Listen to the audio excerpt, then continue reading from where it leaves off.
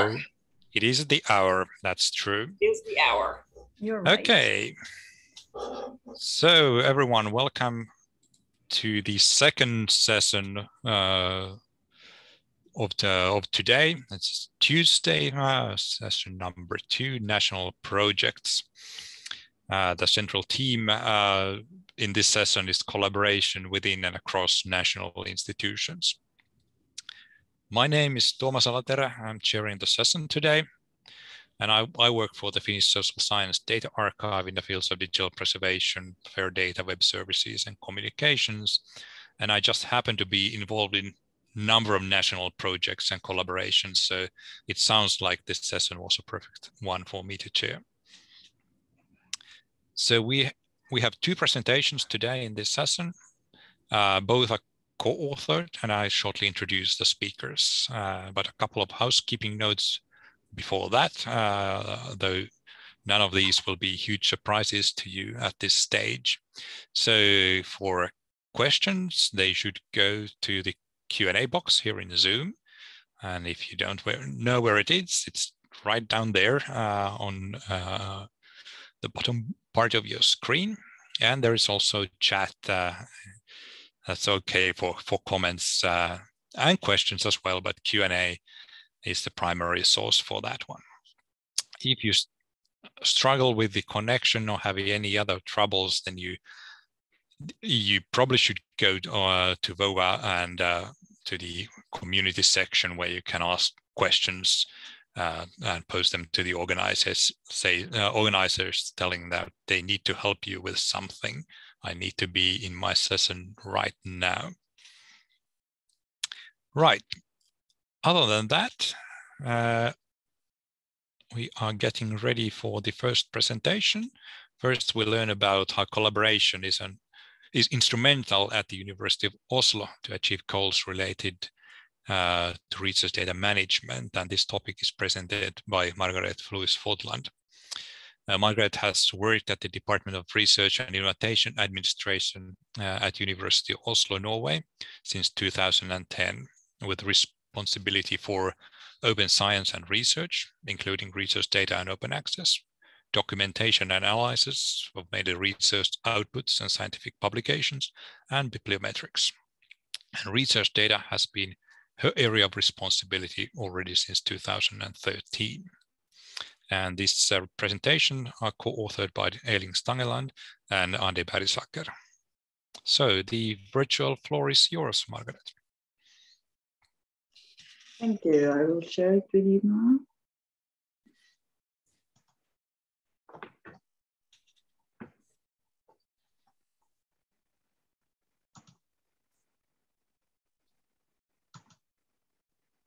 Is it fine now? Uh, we don't see any anything uh, shared at the moment. Okay, then I and we um, hold on. Can you see it now or? Uh, still negative. This is strange. I'm trying to share. Okay, hold on right now it's look yeah now we see the um i mean your your view of it uh, or the not no i mean not not the presentation mode but okay. we'll definitely see your screen now. That's a huge leap ahead. Sorry i'm just going to stop share and start all over again. Sorry. No problem. Uh, i've i've seen this happen before. You're definitely not the first one.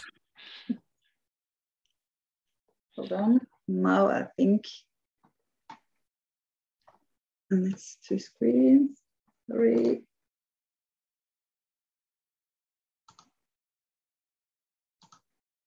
Do you see it now? Yes.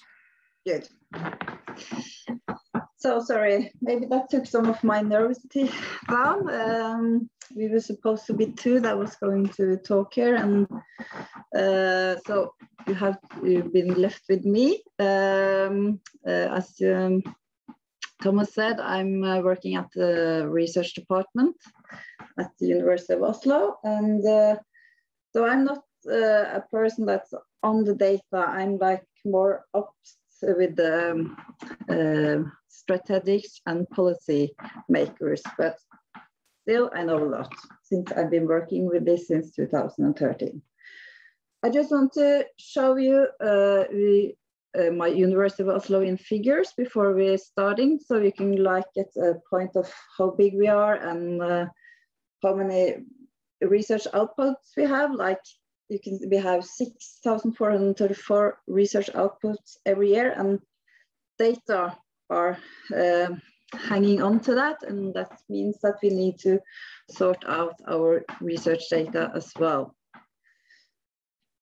Yes, you will get this presentation, I understand. I just want to start with the, the background and the history and how we started to work with research data at uh, the administration, the library and the IT department. We started in actually in 2013 uh, uh, when our leaders uh, at the administration and library asked us to make a note on what are we doing with research data at the university and is there something we need to do? Because we had heard something from the EU that the, the Horizon 2020 will do a pilot on research data and research data management. So in 2014, we established a mandate from the director at the university and we got a working group. And the working group was from uh, uh, several units at the University of Oslo. And we, we were happy to get the leader from uh, the research dean at the um, Faculty of Mathematics and Natural Science. Uh, the secretary uh, was members from the IT department, the library, and the research administrations. And I was the members from the research administrations. I can say that um, this is a paper or um, about uh, collaborations, uh, cross uh, collaborations between the IT and the library and the research administration. And I can say that we had um, difficulty to get the IT department to see the needs here to make this uh, report and to uh, uh, look at this team because um, they had a lot of storage a lot of storage. They didn't see the needs to do something else with research data. And uh, so there was a lot of talking there. I don't know if you have had the same difficulties with the, the IT department, uh, if you're from a university, but uh, they are not that difficult anymore and they can see uh, this is really important. And then you also can see that the report uh, the data explosion and the major challenge, a great opportunity, was uh, the, report that came out of this work. Uh, we also had um, made a model there on how we saw for us how the researchers uh, working on the data and uh, uh, how it's going from active data to project data up to archive data and then up again to the be discovered. So this is uh, normally, uh, people are saying that it should be the, on, the other way around, but we were looking at this as a desktop with the active data, and then we saw shelf uh, of how we're using the project data and how and then they're storing, and then how they're archived, and then we need to find them again or leave them up there. Uh, the report proposal uh, proposed also uh, something that we needed to do to get ready for uh, the, the, demands and the mandatory uh, from the um, European, from EU and also from the Norwegian Council, Research Council. we needed clear guidelines on data management at UiO, also a policy uh, we needed to have a pilot for uh, competence uh, uh building on effective research support services. Uh, we need also a, a clear work uh, sharing responsibility, both institutional, national, and international level. Who is going to make who is going to make an, an archive for that special data, or the and who is going to make this storage platform? That's also going to infrastructure that's going to make uh, you uh, possible for you to maintain your research data and to work on, on it and to share it with others when you're working on it, uh, and so on. Um, oh, sorry. Uh, and also we needed uh, to, to ensure some key issues that require national coordinators are or identified so resolved. Uh, in 2015, after the report, we wanted to go on with the work and uh, we established a competence group uh, that was cross-administrative and the members were also from the same as the secretary was. It was from the research department uh, administration, it was from the library and it was from the IT department. Uh, and we got the mandate to work uh, with an, uh, what we called an advisory board for e-infrastructure. That was uh, members uh, from staff, from academic staff. And that has also uh, been a good experience for us to work with the researchers uh, that actually know what they're talking about and what they need. this is, the researcher here was, how we can say, more as stars about research data management because they knew uh, they have been working with research data, how to put metadata on and how to share and was really wanted, wanting to do that. And that's, they can see also what uh, other needs. So that was a, a, good start for us in 2015. And we uh, did that um, uh, and was going on to 2018. And in this uh, period, we had uh, three projects going on. We had a project for infrastructure for storing active data. Sorry, I'm leaning on something here, sorry. Uh, uh, that was uh, the IT department that had a good mapping there. They were talking to a lot of uh, researchers and how they were working with their research data and what they needed uh, technical when they were um, working with the active data. Then we needed also web pages. Uh, web pages was uh, evaluated. Um, uh, we had them published in 2016, and then we had them published, uh, evaluated, and published again in 2018, and we're soon going to do them uh, more uh, up to date. Um, also, we're starting to build up course for research data management uh, and uh, the first one was more about the DMP as the data management plans, because that was more easier for us to uh, do training on. And it was like the first thing that both the research, Norwegian Research Council and the EU was demanding. And that was, that was the first that the researchers were meeting if they didn't have, um, if they didn't know anything about research data, uh, the research data management. Um, we also published pol uh, policy and guidelines in 2017. Uh, the research team that was the leader for our working group was now had now become the rector at the University of Oslo, and he was uh, very keen on having a, a, policy and guidelines for that. So uh, quite quickly after he was elected, we also had the um, uh, gotten, he wanted to have this up in his um, uh, as a, a, a, case and uh, we made the policy and guidelines and we also had an on a hearing at our university and then he said this is what we're going for. So in 2017 quite one i think it was university of tromsø in oslo in norway that had a policy just a month before us, and then we were the second university in Norway that had actually policy and guidelines for research data management. Uh, we, we were not inventive, so we followed uh, the openness standard uh, principle uh, when it comes to access to research data. We put in the FAIR principles, and we had, of course, we we wanted must instead of should, uh, and it's uh, been taken in an account that not all re research data is made openly available uh, because they have a lot of legal, uh, personal legal should not be shared and so on all openly, as you all know.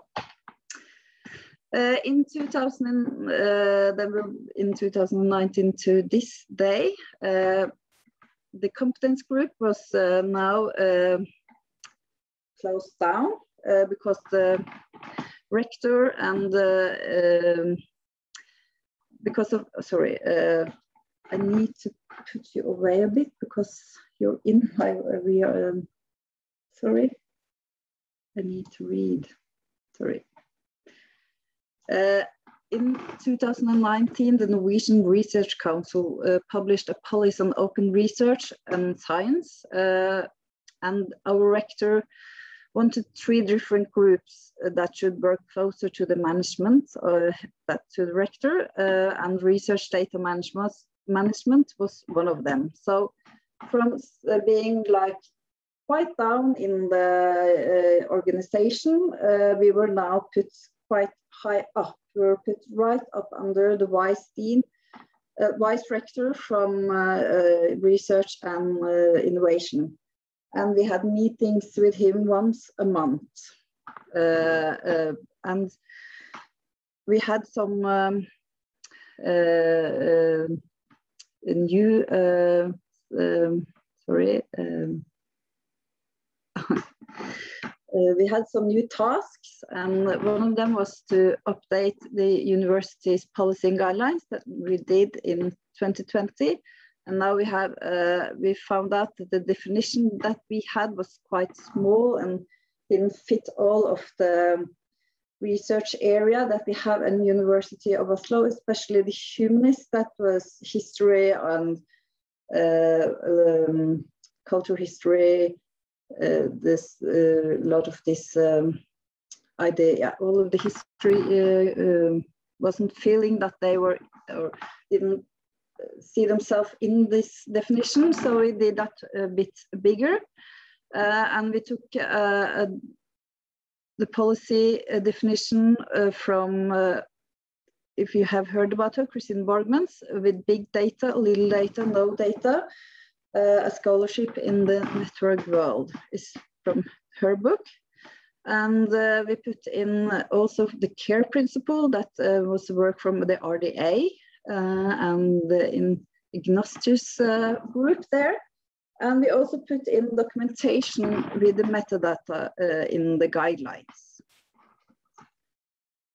Yes, and it's um, the new group was also supposed to work on the positive culture change uh, and a good strategy for archiving requirements uh, that the government, the financiers, and uh, of course our own policy and guidelines.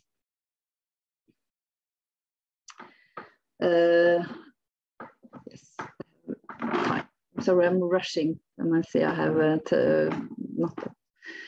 We also had uh, um, data management projects on the data management plan. Uh, we had actually sent out a survey uh, to a lot of researchers and we got back uh, quite uh, many uh, response from them. And also we had a focus group with selected research data, researchers and data managers to see what is the understanding of data management and a data management plan. Uh, and uh, I can say that the answers we got in the survey uh, was quite poorly. They didn't understand uh, uh, why should we have a data management plan? Why should we uh, care about data manager?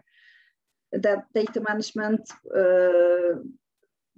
is only me that going to use it or so on. Um, also the focus group where, because of, if you have heard about the GDPR, also the protection data uh, that was uh, um, came in 2000, the law that was coming in, or the protection, how do you say, um, that was coming in 2018 uh, was also mixing in uh, the data management plan. So they were like just thinking about storing and not on not with how you should share your data at the end and that you needed metadata and so on.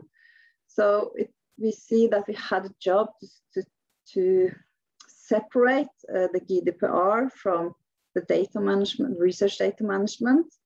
Uh, of course, uh, it's uh, they are uh, how do you say um, they're connected really much, but they are not the same.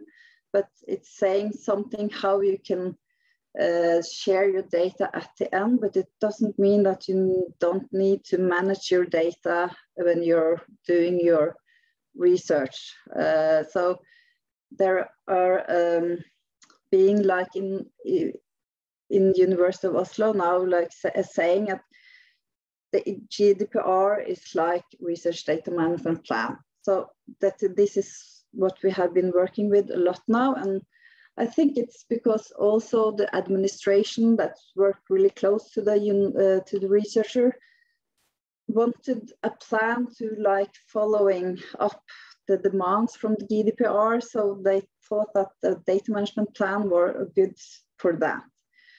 Uh, I don't know if you had uh, any experience the same as we have, but uh, I think we are now getting on track, but I know we have a lot more to do.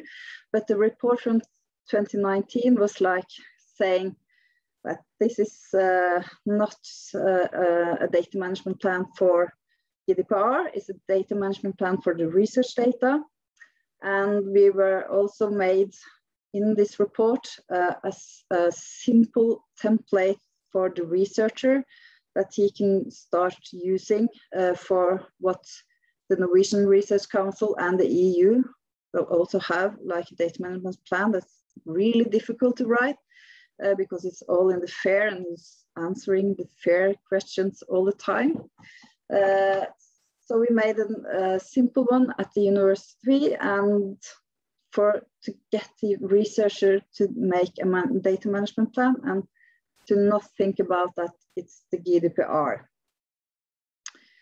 Uh, we also have a solution, we don't say that we don't have the demands that should, are saying that the, this is the plan that the university, uh, uh, that the researcher at the university should use. Um, I see two minutes left, but uh, it's um,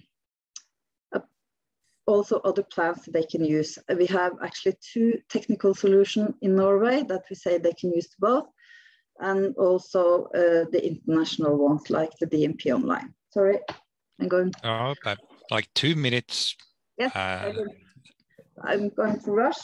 Um, we also have established courses courses at, for data management at the University Oslo, and since 2020 after uh, Corona, we have almost a uh, uh, thousand people that have been attending these courses. So it's been really popular both for both for the researcher and for the research staff. And actually, I think it's uh, about the 70% uh, of the people that have been on these courses are actually researchers. So that's good. Normally, it's a lot of libraries and a lot of staff from the research department that are going on these courses. But now it seems like the researcher are actually uh, thinking this is a good course. Uh, we also have, uh, like we're saying in the text that we sent to the um, conference, a data management network. Uh, and uh, we started, we had one physical meeting in 2020, and then we have actually had four, three on Zoom. And that's is okay, but I think it's going to get better again when we're going to see each other physical. It's 45 uh, people that's member from now. Uh, they didn't want to be an official network, so they are an unofficial network. And the teams have been now, it's been like, what do we need? What is fair data? And also some researcher that has learned some lessons uh, from what they've been doing.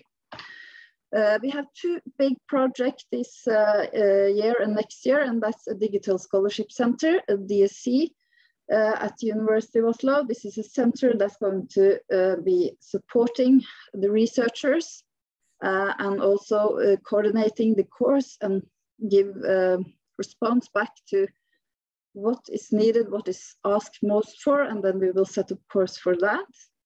And also we have this fair at UiO, that's a technical solution that's going to do metadata simpler when you're doing active data. Uh, this is not my uh, uh, my uh, no uh, i'm not that good in this but uh, as you see this is bubbles how they are going to see how this is going to be used like they're going to either manually or um, feeding or um, harvest the data from other um, places and then they're going to get this into this platform and they're going to put their data on and then they're going to be metadata. It's really early in the beginnings, uh, and but I'm hoping this is going to be uh, be helpful. Also, I want to take uh, the national uh, work in just about out of time, so take the key findings and then we'll move on.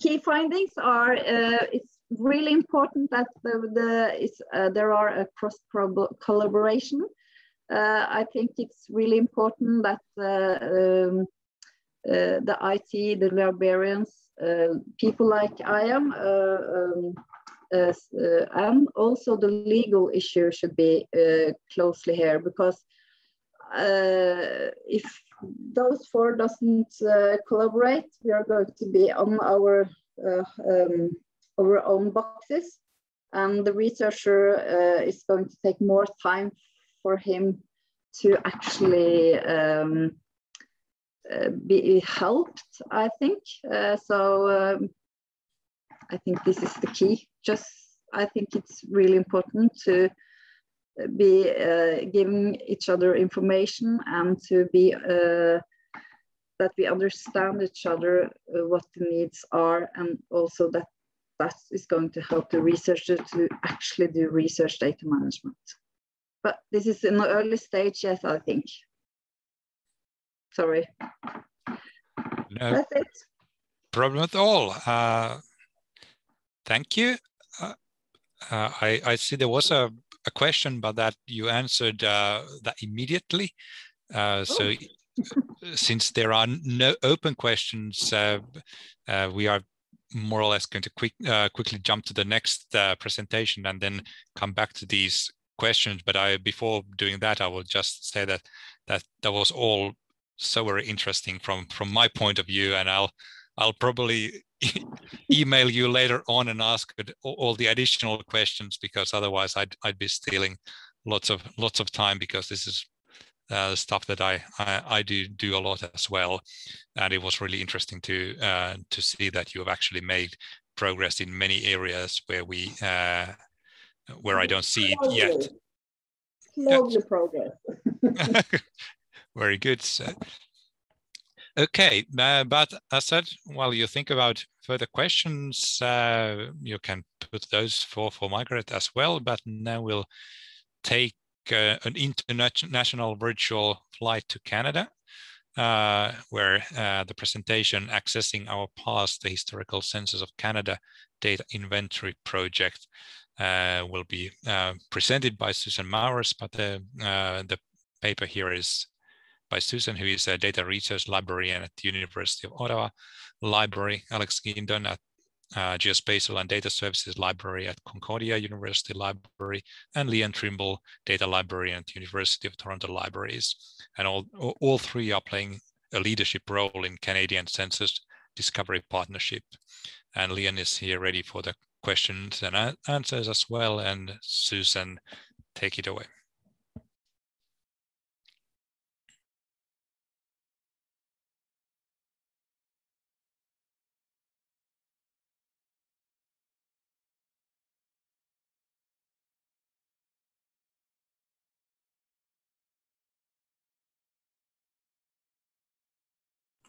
Sorry, just unmuting.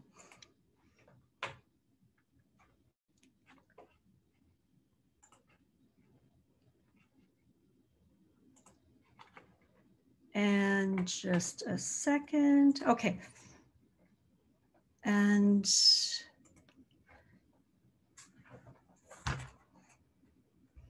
okay, thank you. Okay, um, I'm, uh, uh, thank you very much, Thomas. I'm uh, so pleased to be uh, with you uh, and uh, share with you our, um, the enthusiasm of our project team for our um, historical census of Canada data inventory.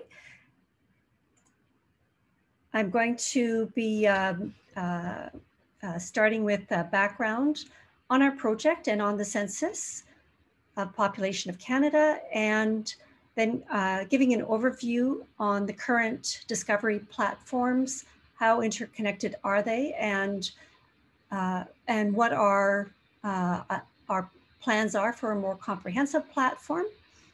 And then finishing with uh, what our uh, what we're doing now and uh, what are our plans. So uh, our, our vision uh, for where we're going is to build an open bilingual Census of Canada research platform. Uh, our project started in 2018 when the Historical Census of Canada Working Group was formed as a group of Ontario University librarians and uh, now includes librarians from across Canada uh, and of course expertise uh, in uh, uh, local expertise. Our project in the future will include research, census researchers and, and, and partner organizations. So why we started? Well, initially we started because uh, we know that there are challenges supporting uh, students and researchers uh, uh who want to use historical census materials. Uh, there are uh, real problems in findability and issues in user friendliness of the materials. And of course, just such variations from census to census that um, uh, and uh, from platform to platform, there are so many differences. So uh, we know that there uh, is uh, a great level of uh, community interest in this, and we really wanted to um, encourage increased interest in and increased history in peoples and places of Canada, as well as new research. So uh, what is our uh, what is our census? Well, it's uh, our our biggest uh, and uh, public data source. Uh, count of every person goes back to 1665 in in New France and came together after Confederation to um, as a national census in not not not the full uh, Canada as we know it today, but it was uh, a census that uh, came out uh, uh, about every 10 years, published in English and French. And now, since 1951, includes Canada as we know it today and is conducted every five years. So the biggest, um, our, most of our work started with actually scoping uh, uh, what our inventory was to be, what's in and what's out. And uh, in the end, uh, we identified that we wanted uh, the reference products and the data products and the analytical products that were produced as part of the each census.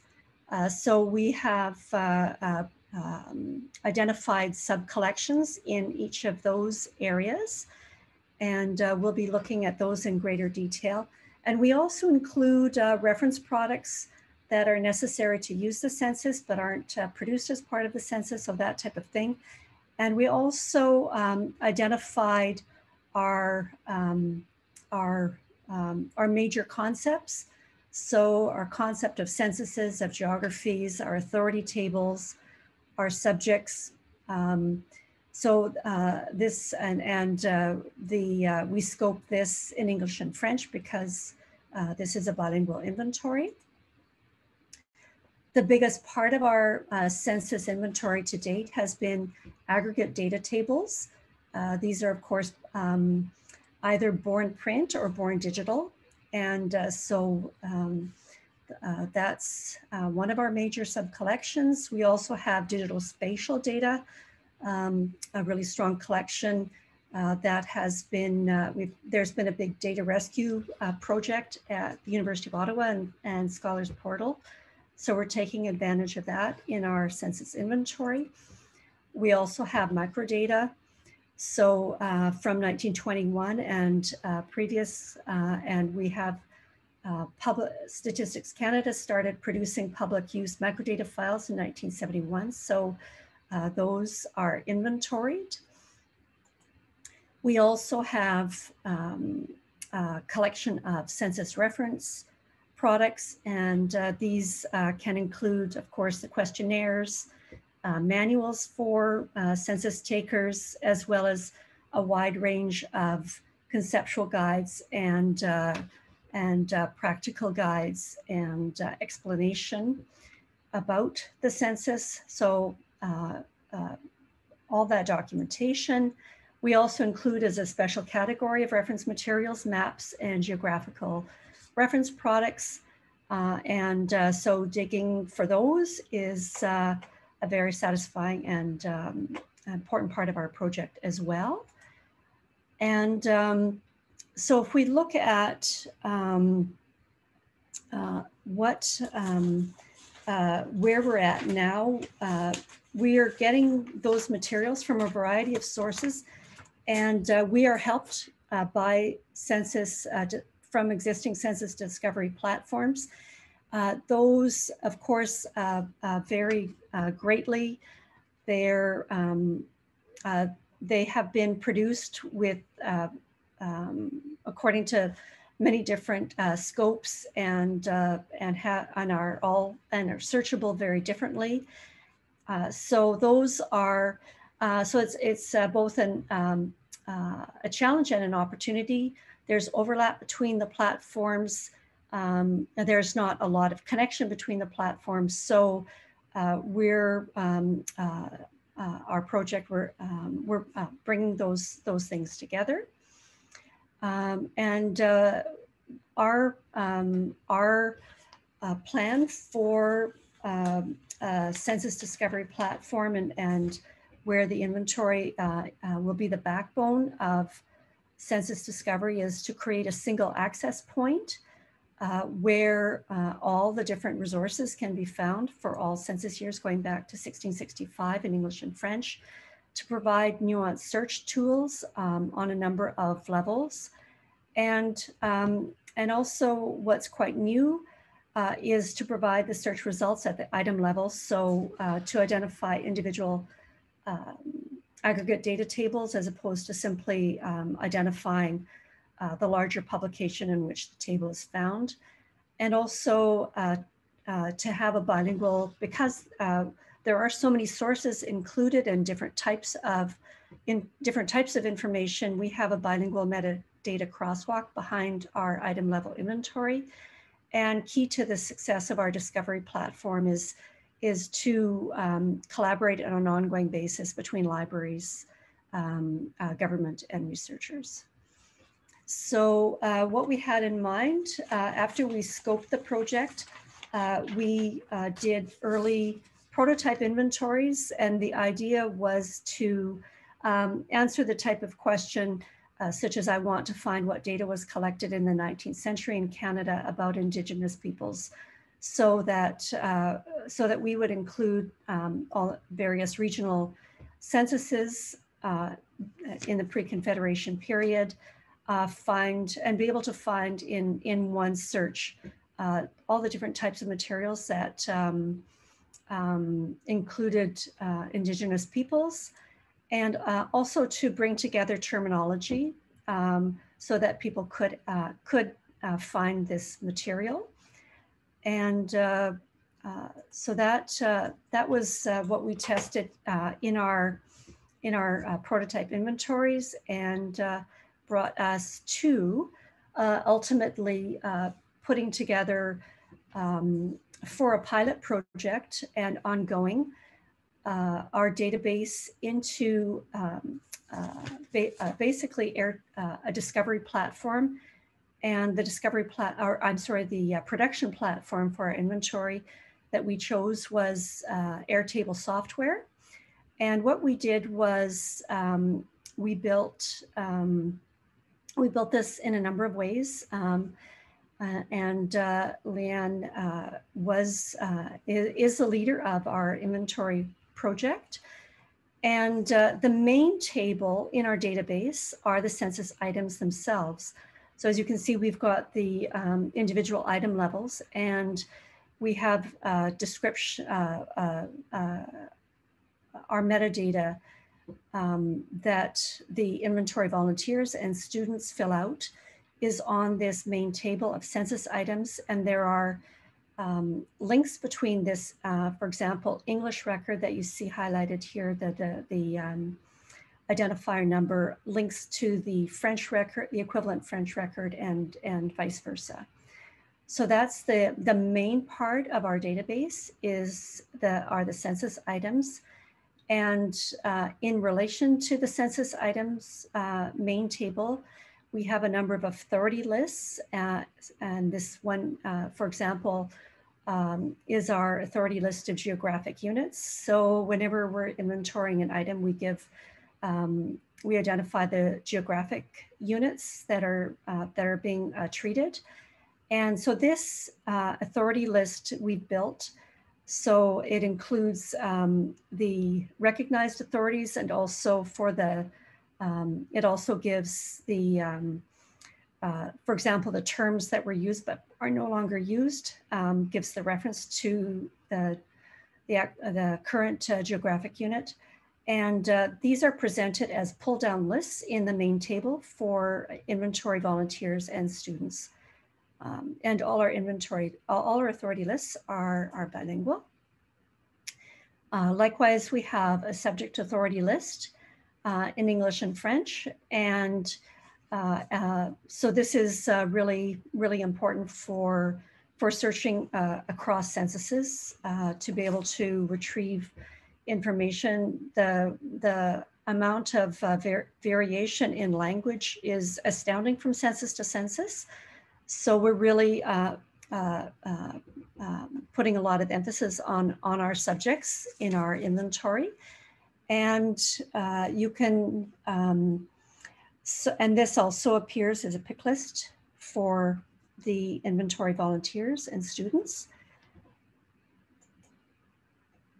And we use a number of research sources for a subject list, um, including, uh, for example, um, census uh, dictionary here. You see an appendix from uh, a census dictionary on when the first time um, a subject was treated and we, we look at the questionnaires, of course, as well.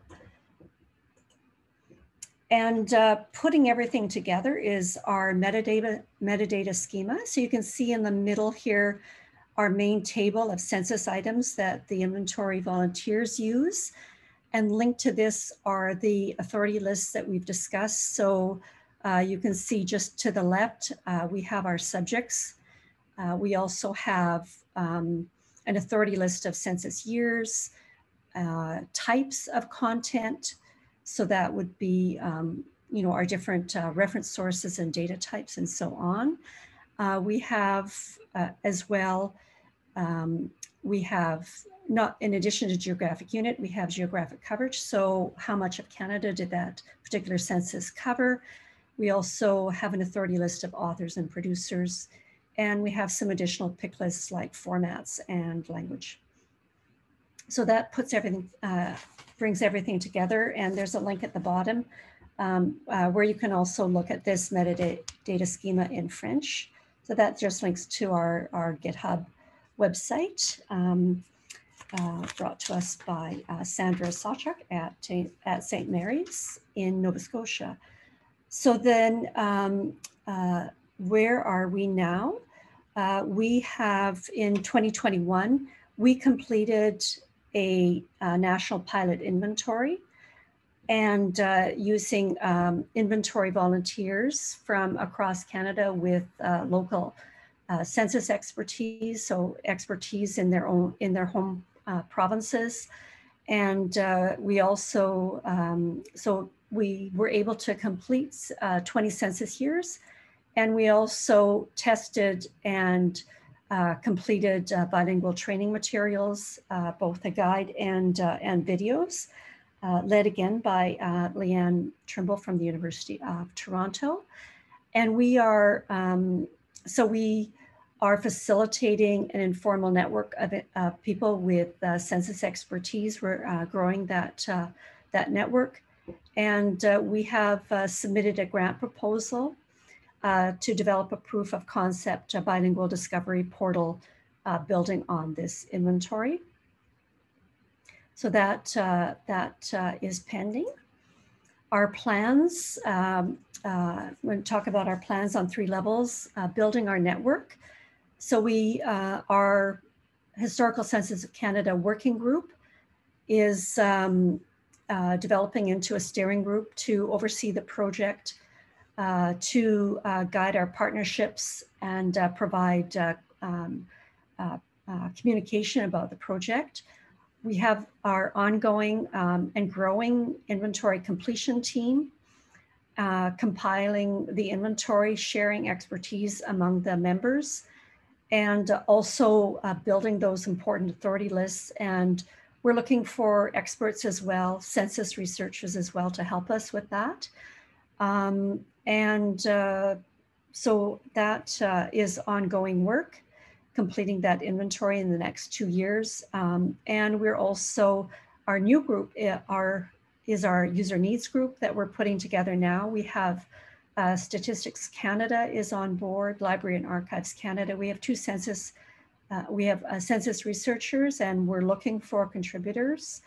Um, so contributors, for example, uh, from other countries uh, who are um, um, aware of, uh, of similar work or um, certainly people from across Canada. Um, we're looking for additional contributors and we are preparing a user needs report um, next year as well as um, stakeholder, stakeholder consultations. So um, as I mentioned, we have a funding proposal to the Social Science and Humanities Research Council, which is in progress. And we're waiting, awaiting the results on that. Uh, and uh, we, uh, so as that, um, as we're waiting, we're uh, continuing to approach potential partner organizations in addition to Statistics Canada and Library and Archives Canada.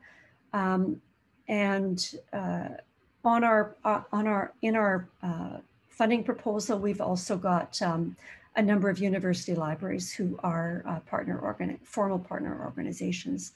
So the funding that we've requested, uh, that we've applied for is to complete the inventory, to conduct our user needs report, to develop our proof of concept for that research platform, um, one that is openly available, uh, bilingual, and uh, uh, uh, crosses all those sources um, that, that, we've, that we previously scoped and to investigate opportunities uh, through uh, research and consultation to further improve access to the actual source data and, and, and um, reference products and so on uh, through, um, um, through uh, various means, including uh, digitization, um, uh, enhanced curation, format conversions, and so on.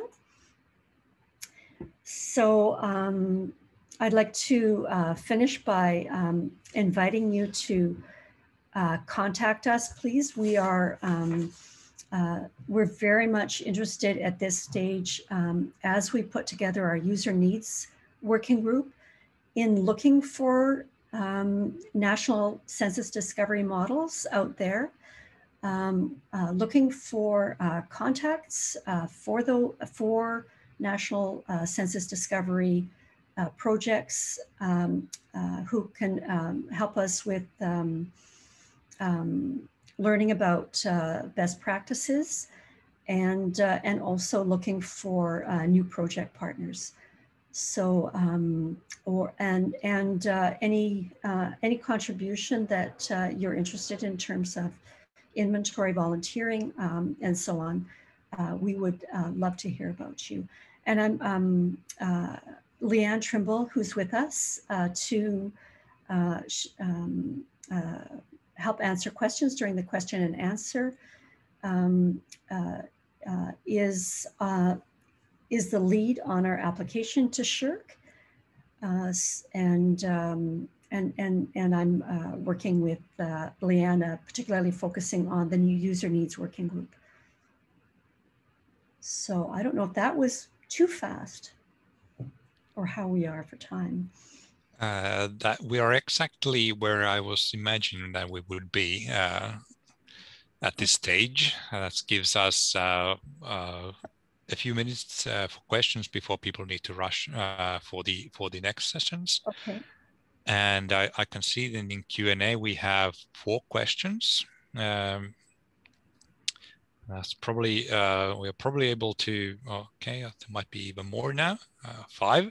Uh, and uh, if we're not able to take take them all, then we, we, make sure that we keep a copy of of these questions and uh, they either uh, offer you the chance to answer them here or uh, in the Whova platform so that the people who ask questions will get get the answers.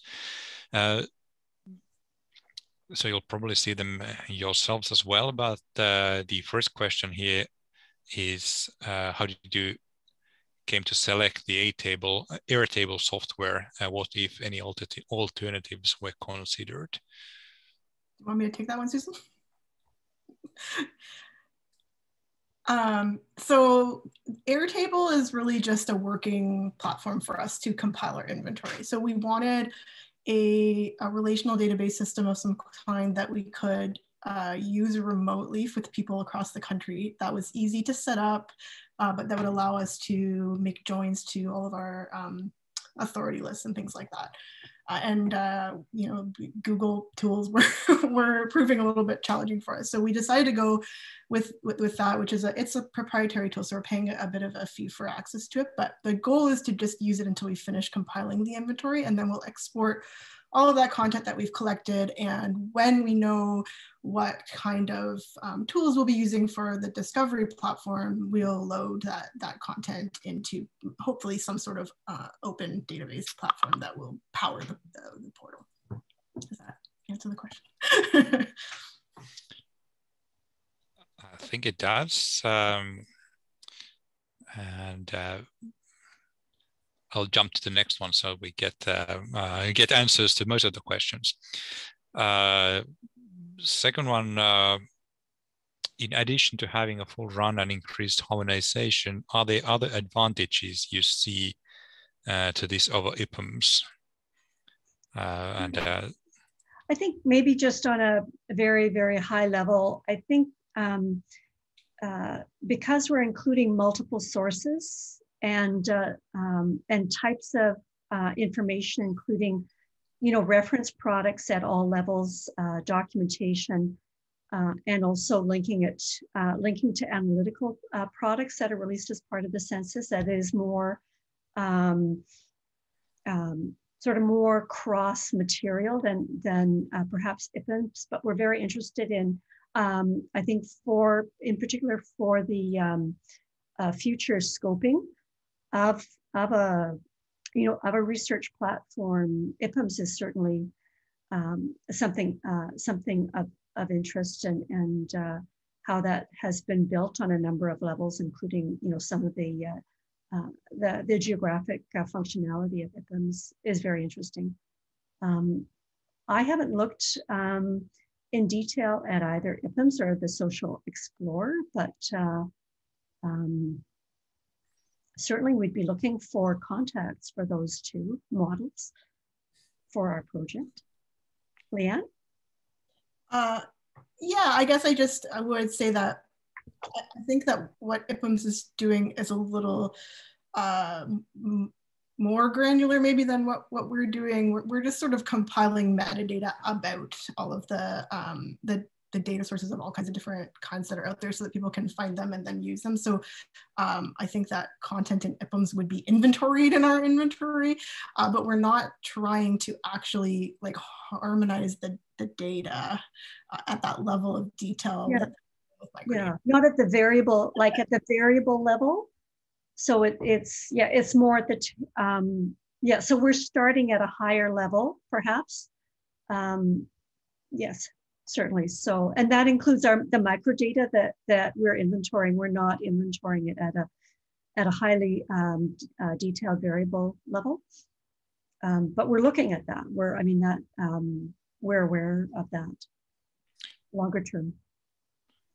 Thank you. I'll. Uh, there's still time. At least one question. Uh, there's one for Margaret, so I'll switch to that one so we get uh, get her uh, question covered as well.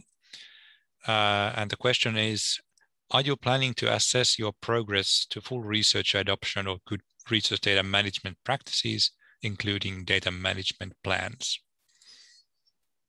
Yes, we are. Sorry. Uh, I think uh, the um, project that I was talking about at the end uh, will be adapting more uh, about that. Um, so yes, we want uh, good practice in research data management, just not the plan, just just not uh, only the plan. We want everything. Sorry, I have a dog now that's uh, in Norway. We're at seven o'clock, so he wants to go. She wants to go outside, so she's a bit uh, playful. Sorry. That, that too is a is a common thing over this last year. Okay, uh, I probably you'll uh, I'll see still 76 uh, attendees others, so we'll, we'll do at least one more question. Uh, I think I could combine two. There's uh, will there be a beta discovery website created for user testing? And there's another question: Are there links available to the pilot project? Any way to see digital content explore uh, the project uh, to date? Uh, well, we're a ways away from having um, a discovery, um, a beta discovery platform. That I mean, that is uh, that's that's one of our uh, deliverables in our uh, in our funding uh, proposal. So that is something that will will be forthcoming when you are there.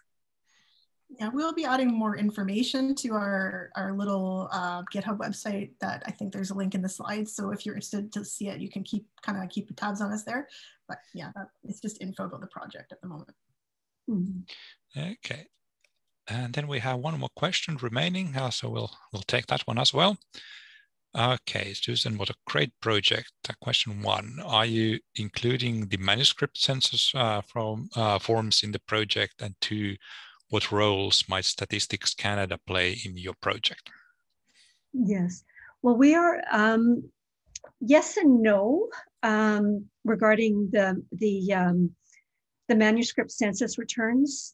We are not uh, including those at the item level. We're only including these at this point, and and as you know, we are uh, partnering with Library and Archives Canada as well. So we, um, but at this point, we are only inventorying the um, census year level searchable databases that Library and Archives Canada produces. So there's just, there's a real, um, there, there's quite a difference between the kind of um, um, archival records that exist for census returns and, and uh, the, um, uh, our, our metadata schema. And, and yeah.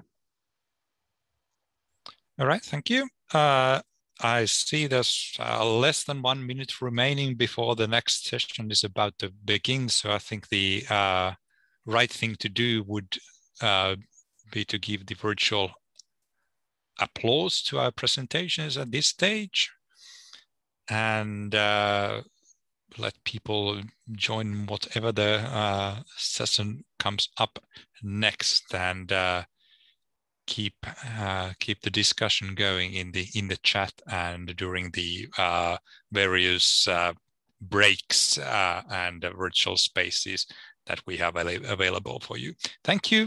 It was very interesting, and I hope to see you around during the rest of the conference. Thank you. Bye all. Bye. Bye.